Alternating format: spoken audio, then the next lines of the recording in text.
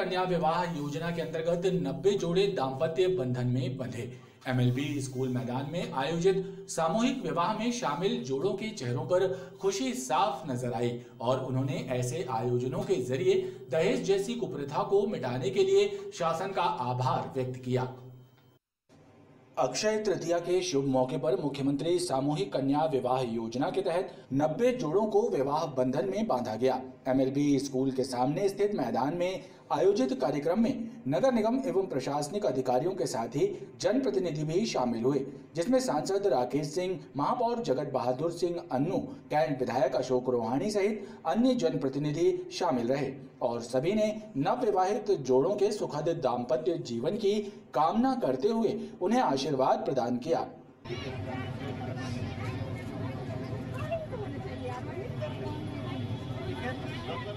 मुख्यमंत्री कन्या विवाह योजना के अंतर्गत आज जबलपुर में नगर निगम के द्वारा आयोजित इस सामूहिक विवाह में लगभग 90 जोड़े रजिस्टर हुए हैं। और बहुत खुशी की बात है, ये सब जितने भी जोड़े हैं, बहुत खुशी से आज यहाँ पर उनकी विवाह हो रहे हैं, शादियाँ हो रही हैं। व्यवस्थाएँ क्योंकि एकदम परफेक्ट है। भोजन व्यवस्था बहुत बढ़िया है। फेरे लेने वाली जगह बढ़िया है। हमारे जो पंडित महासभा के लोग हैं, हमारे पंडित साथी हैं, बहुत अच्छे से उन्होंने एक एक पूरी प्रक्रिया के साथ, हर जोड़े के साथ उन्होंने शादी का कार्यक्रम संपन्न कराया है। मंची व्यवस्था, सारी व्यवस्था बहुत शानदार के साथ। उनको भी आज एहसास हुआ कि मुख्यमंत्री विवाह योजना के अंतर्गत वो शान और शान शौकत के साथ विवाह कर सकते हैं। और ऐसा ही हुआ।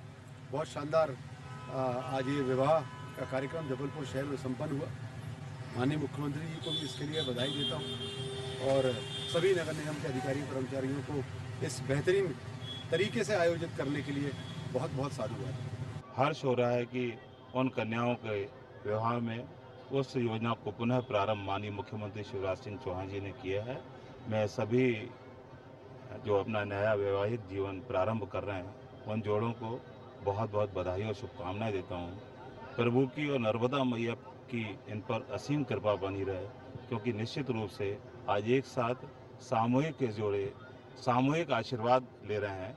मैं सभी को बहुत बहुत बधाई और शुभकामनाएँ दे रहा हूँ। बहुत अच्छा लग रहा है। सारा डेकोरेशन बहुत अच्छा है और शिवराज सर जी का शुक्रिया कर रहे हैं। कि इतना सुंदर डेकोरेशन है और सब कुछ बहुत अच्छा हैगा यहाँ पर। ये नगर निगम द्वारा क्या कहते फॉर्म भरे जा रहे थे। और इंतज़ार कर रहे थे हम लोग का फॉर्म वैसे भर गया था, पर थोड़ी इंतज़ार करना पड़ा हम लोग को, पर बहुत अच्छा है। और जो मुश्किलें थी घर में तो उससे भी क्या कहते, आराम मिला है कि हम लोग को वो शिवराज सिंह वो मामा थोड़ी वो कर रहे हैं सपोर्ट कर रहे हैं। विवाह बंधन में बंधे नव विवाहित जोड़ों के चेहरों पर भी खुशी साफ़ नज़र आई और उन्होंने इस आयोजन के लिए राज्य शासन के प्रति आभार व्यक्त किया और साथ ही विवाह की व्यवस्थाओं की भी सराहना की। ऐतिहासिक संग्राम सागर तालाब के सौंदर्यीकरण का कार्य लगभग पूरा हो गया है और 26 अप्रैल को तालाब का लोकार्पण किया जाएगा। इसके पूर्व सांसद राकेश सिंह ने नगर निगम आयुक्त एवं कलेक्टर के साथ जाकर तालाब का निरीक्षण किया। शहर के मध्य स्थित ऐतिहासिक संग्राम सागर तालाब मनोहारी पर्यटन स्थल के रूप में नज़र आने लगा है और शेष कार्य पूर्ण कर इसका लोकार्पण आगामी 26 अप्रैल को किया जाएगा। सांसद राकेश सिंह ने संग्राम सागर के निरीक्षण के दौरान निगम आयुक्त को निर्देश दिए हैं। सांसद ने इस दौरान मीडिया से चर्चा करते हुए कहा कि जबलपुर के बावन ताल तलैयों में से एक संग्राम सागर तालाब है, जिसे गौण काल में राजा संग्राम सागर ने बनवाया था। और वो स्थल चारों ओर से पहाड़ियों से घिरे होने के कारण अत्यंत रमणीक स्थल है। इसी के मद्देनजर इसे पर्यटन के मेगा सर्किट में शामिल कराया गया था और पर्यटक स्थल के रूप में विकसित करने, बनाई गई परियोजना के अनुरूप केंद्र सरकार के पर्यटन मंत्रालय द्वारा एक करोड़ बावन लाख रुपए की राशि मेगा सर्किट में स्वीकृत कराई गई थी, जिसमें से एक करोड़ बाईस लाख की लागत से कार्य संपन्न कराए गए हैं। सांसद ने संग्राम सागर के निरीक्षण के दौरान अधिकारियों से कहा कि शेष कार्य शीघ्र कराकर 26 अप्रैल को लोकार्पण के साथ ही इसे पर्यटकों के लिए खोल दिया जाए। भगवान परशुराम ने मानव जीवन को जो संदेश दिया है, उसमें शास्त्र के साथ शस्त्र की उपयोगिता को भी बताया है। उनके सारस्वत दर्शन में समरसता प्रासंगिक है। ये बात समरसता सेवा संगठन के द्वारा अग्रसेन मंडपम में भगवान परशुराम के प्राकट्योत्सव के मौके पर आयोजित विचार गोष्ठी के दौरान प्रमुख वक्ताओं द्वारा व्यक्त किए गए। इस दौरान विप्रजनों को सम्मानित भी किया गया।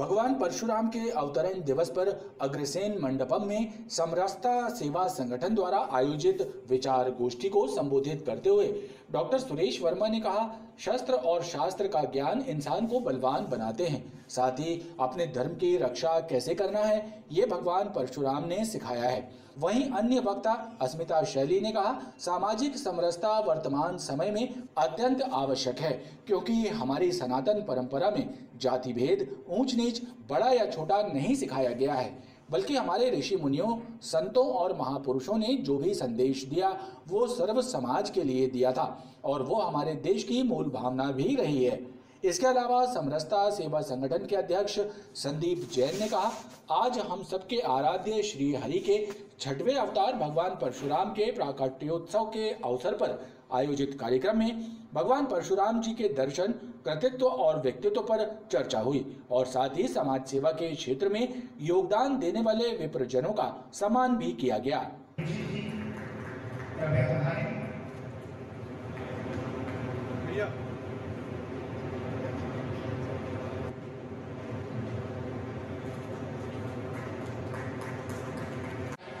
आज समरसता सेवा संगठन के द्वारा भगवान परशुराम जी के प्रकटोत्सव के अवसर पर विचार गोष्ठी और सम्मान समारोह का आयोजन किया गया है। जैसा आप सभी को विदित भी है कि समरसता सेवा संगठन का मुख्य उद्देश्य सब सबको जाने और सब सबको माने। इसलिए भारतीय सनातन दर्शन में जिन महापुरुषों ने, जिन संतों ने, जिन आराध्यों ने समाज को अपना दर्शन दिया है, अपना मार्गदर्शन दिया है। ऐसे सभी महापुरुषों की जयंती पर्व को हम सभी लोग मिलकर मनाएँ और हम सभी सबको जाने, सबको मानो एक साथ एक स्वर्ण भारत माता की जय बोले। सब लोग इसलिए ऐसे समरसता सेवा संगठन के द्वारा वर्ष भर में बत्तीस महापुरुषों को प्रारंभिक तौर पर जिनकी जयंतियों को मनाया जाएगा। आज इसी क्रम में ये भगवान परशुराम जी के प्राकट उत्सव का कार्यक्रम चल रहा है। कार्यक्रम में बड़ी संख्या में लोग मौजूद रहे। श्री हरि विष्णु के छठवें अवतार भगवान परशुराम के जन्मोत्सव पर प्रगतिशील ब्राह्मण महासभा द्वारा गढ़ा गौतम जी की मढ़िया से विशाल वाहन रैली निकाली गई, जिसमें बड़ी संख्या में विप्र बंधु शामिल हुए।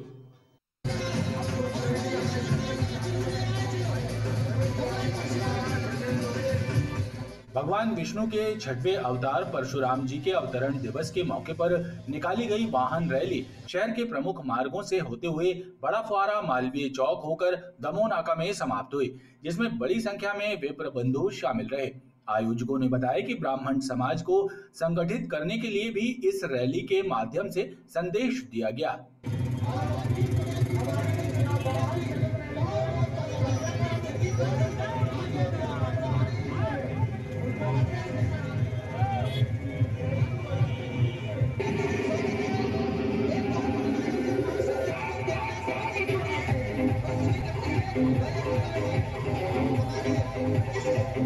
मध्य प्रदेश प्रगतिशील ब्राह्मण महासभा के तत्वावधान में भव्य वाहन रैली, संकट मोचन मंदिर, गौतम जी की मड़िया से प्रारंभ हुई।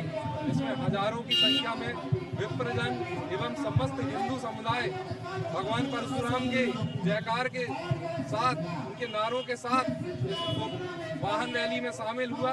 ये वाहन रैली गढ़ा, रानीताल और बड़ा पारा माली चौक, दमो नाका में समाप्त होगी एक विशाल वाहन रैली का आयोजन किया गया है। शहर के नहीं, बल्कि पूरे ग्रामीण क्षेत्र के लोग यहाँ पर आए हुए और न केवल ब्राह्मण समुदाय के बल्कि अन्य वर्णों के लोग यहाँ पर पधारे हुए हैं और एक विराट रैली यहाँ पर प्रारंभ होने वाली है जो गढ़ा कचपरा मंदिर हनुमान जी के मंदिर से प्रारंभ होकर गढ़ा बाज़ार होते हुए रानीताल मालवी मालवी चौक बड़ा फुहारा छोटा फुहारा जो होते होते हुए दमोनाका में जिसका समापन होगा बड़ा ही पावन दिन है और हम सभी आज भगवान परशुराम का ये भव्य पावन प्राकोत्सव मना रहे हैं। इस वाहन रैली के सूत्रधार वरिष्ठ अधिवक्ता स्वर्गीय श्री आदर्श मुनि त्रिवेदी रहे हैं और उन्हीं के बताए हुए मार्ग पर चलते हुए ब्राह्मण समाज विप्रकुल परिषद, प्रगतिशील ब्राह्मण मंच, सामाजिक समरसता का संदेश लेकर इस विशाल वाहन रैली को निकाल रहा है। भगवान परशुराम ने अनाचार को मिटाकर, पापाचार को मिटाकर सदाचार की स्थापना करी थी।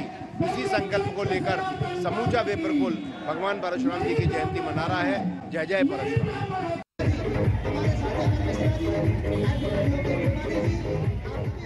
धन धान्य और समृद्धि की देवी माँ अन्नपूर्णा का जन्मोत्सव निवाड़गंज स्थित अन्नपूर्णा मंदिर में धूमधाम के साथ मनाया गया। इस मौके पर महाआरती एवं बधावा कार्यक्रम का आयोजन कर प्रसाद वितरण किया गया। धन धान्य की देवी माँ अन्नपूर्णा का जन्मोत्सव निवाड़गंज स्थित अन्नपूर्णा मंदिर में धूमधाम के साथ मनाया गया।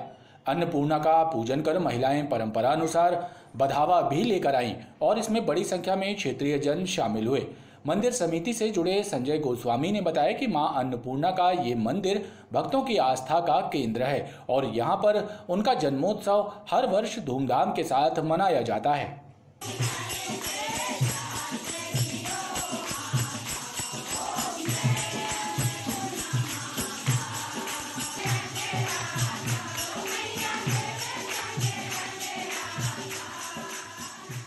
आज अक्षय तृतीया के दिन माँ अन्नपूर्णा का जन्मोत्सव यहाँ अन्नपूर्णा मंदिर निवाड़गंज में मनाया गया, जिसमें भक्तजनों द्वारा सुबह से विशेष पूजन अर्चन किया गया।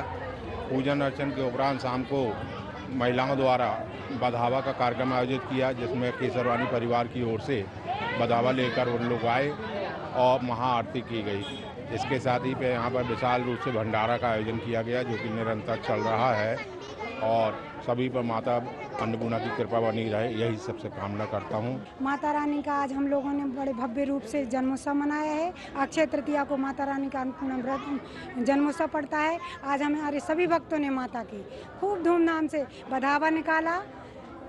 प्रियंका केसरवानी। प्रियंका केसरवानी। बधावा निकाला। माता के यहाँ झूला लेके आई और माता के लिए सब भक्त खूब नाचे, गाए, खूब उत्साह से माता का जन्मोत्सव मनाया। माँ आज महाआरती हुई। अब माता का स्रोत पाठ किया जाएगा। भंडारा किया गया आज।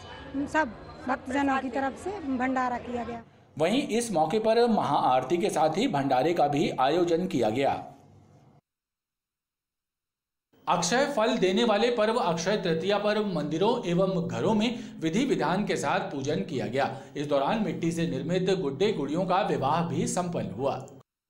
अक्षय तृतीया का पर्व संस्कार धानी में परंपरा अनुसार मनाया गया। इस मौके पर घरों और मंदिरों में विधिवत पूजन अर्चन किया गया। खास बात यह है कि इस दिन मिट्टी से निर्मित गुड्डे गुड़ियों का विवाह कराने की परंपरा है जिसका महिलाओं द्वारा निर्वाहन किया गया और गुड्डे गुड़ियों का विवाह रचाया गया।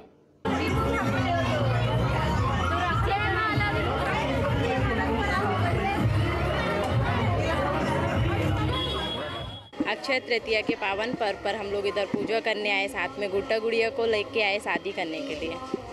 जी। कैसे किया हमने यहाँ पे पंचकोसी मंदिर में आके उनकी शादी की है अच्छे धूमधाम से बच्चे भी आए हैं सबको बड़ी खुशी है। अक्षय तृतीया के पावन पर्व में आज हमने गुड्डे गुड्डियों का विवाह कराया है बच्चों के साथ आके और यहाँ पकवान चढ़ाए हैं भगवान को भोग लगाया है। आज अक्षय तृतीया है।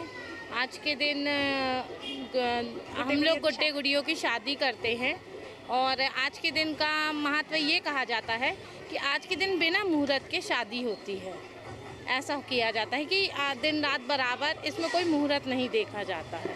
गल्ला मंडी में पंचकोशी मंदिर में आए हैं, अक्षय तृतीया के पर्व में अपने गुड्डा गुड़ियों को लेके पूजा करने के लिए। गुरंदी गलगला स्थित पंचकोशी मंदिर में भी महिलाओं द्वारा पूजन अर्चन किया गया। विजन केयर आई हॉस्पिटल में शुक्रवार को मोतियाबिंद के ऑपरेशन के दौरान गढ़ापुरवा निवासी फागूलाल की हालत बिगड़ने और बाद में महाकौशल हॉस्पिटल में उसकी मौत हो जाने के मामले में लाडगंज पुलिस ने मर्ग कायम कर जाँच शुरू कर दी है। शुक्रवार को महाकौशल अस्पताल में मृत हुए फागूलाल पटेल के परिजनों की शिकायत पर लाडगंज पुलिस ने मर्ग कायम कर जाँच शुरू कर दी है। पुलिस ने शव को पोस्टमार्टम के लिए भेजा है और उन्हें अब पोस्टमार्टम रिपोर्ट का इंतज़ार है। सीएसपी प्रभाष शुक्ला के अनुसार पूर्वा निवासी फागुलाल मोतियाबिंद का ऑपरेशन कराने के लिए विजन केयर आई हॉस्पिटल गया था, जहाँ ऑपरेशन टेबल पर ही उसकी तबीयत बिगड़ गई और उनको महाकौशल अस्पताल लाया गया, लेकिन उनकी मौत हो गई और इस मामले में परिजनों ने शिकायत दी है। कल रात में महाकौशल हॉस्पिटल से सूचना प्राप्त हुई थी कि एक व्यक्ति, जिसका नाम फागू पटेल था, उसे विजन आई केयर में आँखों के ऑपरेशन के लिए भर्ती कराया गया था। कुछ कॉम्प्लिकेशन आने की वजह से उसे महाकौशल हॉस्पिटल में लाया गया, जहाँ उसकी मृत्यु हो गई। उसके संबंध में परिजनों की शिकायत पर उसमें मर्ग कायम किया गया है। मर्ग कायम करके उसको पोस्टमार्टम कराया मेडिकल वाले से कराया गया है। अब जैसी रिपोर्ट आती है, उसके अनुरूप कार्रवाई की जाती है। पुलिस का कहना है कि पोस्टमार्टम रिपोर्ट के बाद ही मौत की सही वजह का पता चल सकेगा। नशीले इंजेक्शन बेचने के लिए घूम रहे एक आरोपी को कोतवाली पुलिस ने छोटी देवन से गिरफ़्तार किया है। पुलिस के अनुसार पूर्व में भी आरोपी एवं उसकी पत्नी नशीले इंजेक्शन बेचने के मामले में पकड़े जा चुके हैं। छोटी देवन के पास फेरी लगाकर नशीले इंजेक्शन बेच रहे संतोष उर्फ़ डॉन को कोतवाली पुलिस ने गिरफ़्तार किया। उसके कब्जे से चार नशीले इंजेक्शन और सीरेंज बरामद की गई है। पुलिस के मुताबिक संतोष और उसकी पत्नी पूर्व में भी नशे के इंजेक्शन बेचने के मामले में पकड़े जा चुके हैं। ऑपरेशन सकंजा चलाया गया है। इसी अभियान के अंतर्गत आरोपी संतोष उर्फ़ डॉन तथा बद्री प्रसाद झारिया निवासी चेरीताल का रहने वाला है, जो पूर्व में भी नशे के इंजेक्शन का विक्रय करने के अपराधों में गिरफ़्तार हो चुका है। कल दिनांक 21 चार 2023 की रात्रि लगभग 10 बजे के आसपास छोटी देवन मंदिर के पास मुखबिर सूचना के आधार पर इसको पकड़ा गया है, जिसके पास नशे के इंजेक्शन हैंड्रामाइन मिलेट और लीजेसिक तथा डिस्पोजल सीरिंज ये इसके पास में पाए गए हैं और जिसका ये विक्रय कर रहा था।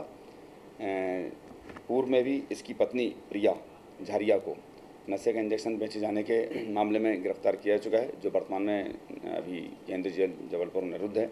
इसमें पूर्व में अपराध क्रमांक एक सौ इकतालीस अब्लिक दो हज़ार तेईस पंजीकृत किया जा चुका है।